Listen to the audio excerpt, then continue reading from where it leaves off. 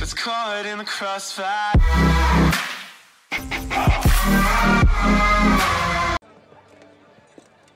Looks like very light armor.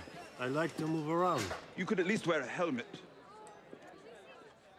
You shouldn't drink before a fight. You learned this during your years in the fighting pits.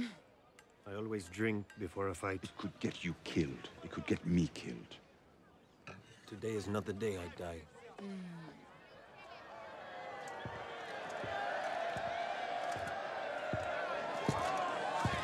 You're going to fight that? I'm going to kill that.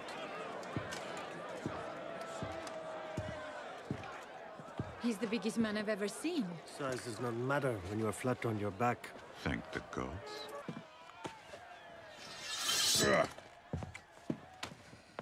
Don't leave me alone in this world.